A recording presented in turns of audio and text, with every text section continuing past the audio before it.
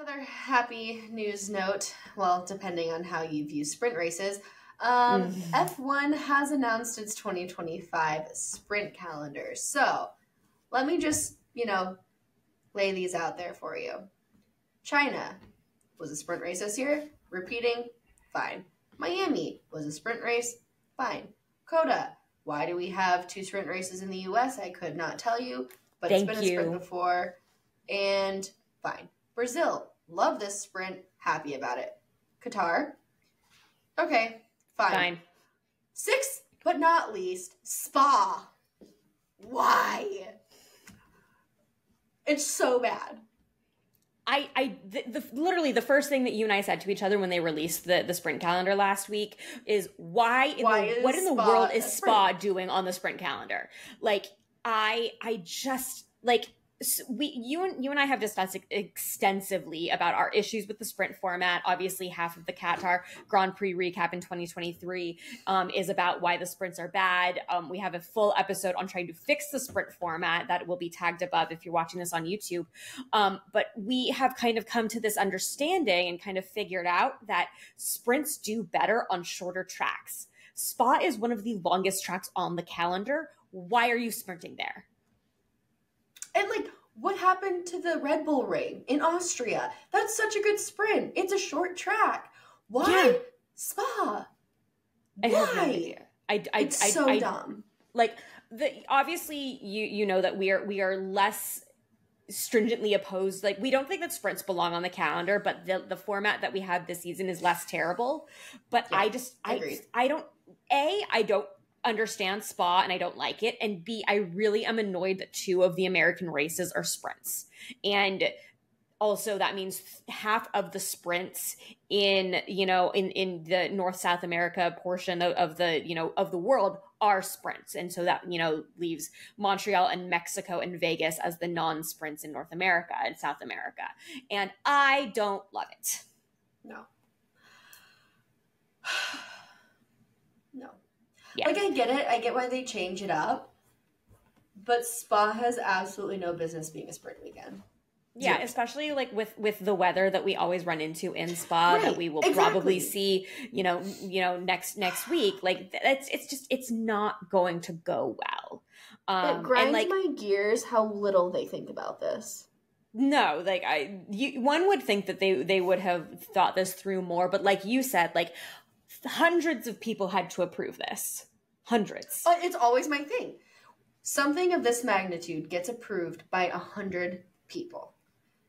And that means a hundred people had to be like, yes, spa is a good idea for sprints. Yeah, I want to know like what the mindset behind it was. Like, who in the world thought that that was a who who thought that was a good idea? Like, you know, Stefano Domenicali loves sprint races. We know that. But Right. like who said like who like walked into Stefano's office and said, "Stefano, me dude, Spa should be a sprint race." Like that's even more absurd than our idea that Monaco should be a sprint race. Exactly. If you make spa a sprint, make Monaco a sprint. Yeah. Do it. I dare That you. might actually help Monaco, other than you know making the car smaller, which we'll see in two years. Um, but I will also point out that per F1 and per the F1 article, sprint live audience figures have been higher, but they they they pointed that out specifically to China and that the audience figures for the sprint qualifier and sprint race were up 40% in the top 15 markets in China compared to the two practices for the opening races. But here's my thing. Of course, numbers were higher up in China. One of the biggest markets in the world that is part of this top 15 is the Chinese market. So, of course, all of China is going to tune in to watch Zhou Guanyu. And this is the first time that China was on the calendar in five years. And it was big deal. Zhou Guanyu, Chinese driver, etc. So, of course, it's going to be up 40%. You can't say that it was just because of the sprint that it was better. Like, you, you, you could have had them that. driving backwards on the entire circuit and 40% more would have tuned in. We've been dying to go to China. You and I have talked about it a lot. We wanted to see China. Of course it's a huge deal because Zhou is there for the first time. Like yeah, no, that's that's a horrible statistic. yeah. that's like the- saying you're 100% more likely to be wet when it's raining outside.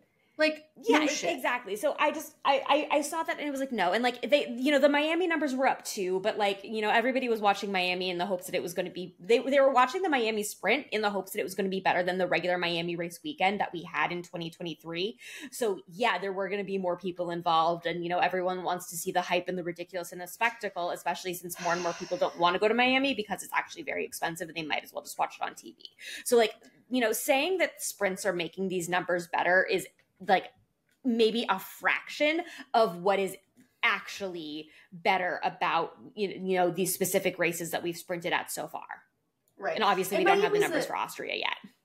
Right. Miami's a hard one too, though, because I think Miami's one of those races where it's actually on ABC in the US, not just ESPN. So it's getting to more people in the US. Right, because the US ABC is free to air.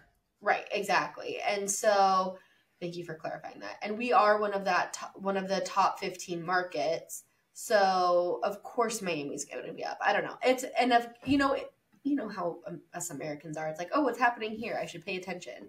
But if it's at an Yeah, it's- inconvenient it's- time it's one at of four those- o'clock in the morning, I'm not tuning in. So, Exactly. It's it's one of those like don't let the facts get in the way of a good story type of things, which is something that my former boss, you know, says all the time. But like don't make the like don't shoehorn facts that make sprints look good when sprints are just annoying. They're trying to create a storyline here. They're trying to say sprints are successful, and they're throwing Yeah, every the- the- meaningless fact at it. So Yeah, the, the, the answer is stop trying to make fetch happen because we don't need it.